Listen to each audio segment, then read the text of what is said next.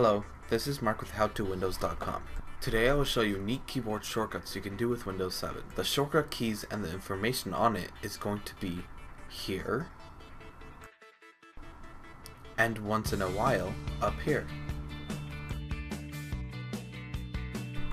The first shortcut is to show you your basic system information. To do this, press Windows button and pause at the same time. To open what is known as My Computer, press Windows and E as shown. You can press it as many times as you like. To minimize every single window that is open, press Windows and M. To quickly switch between open windows, press Alt and Tab. Or if you like things in 3D, press Windows and Tab.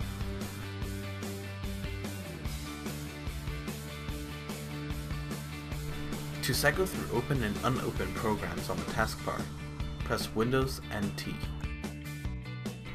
If you're like me, and your desktop gets cluttered and you want to see the desktop just for a second, press Windows and space.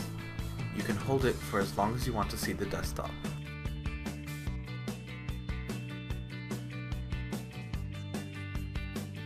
To move a window to a different side of the screen, and even maximize it, press Windows and an arrow key to the direction desired.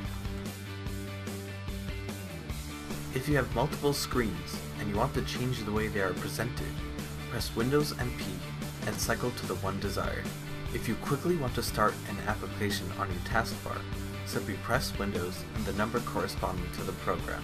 If you have more than one screen, and you want to move an application from one screen to another, press Shift and Windows and the direction. To close an application you are currently selected on, press Alt and F4. To open Task Manager easily, press Ctrl, Shift, and Escape all at the same time.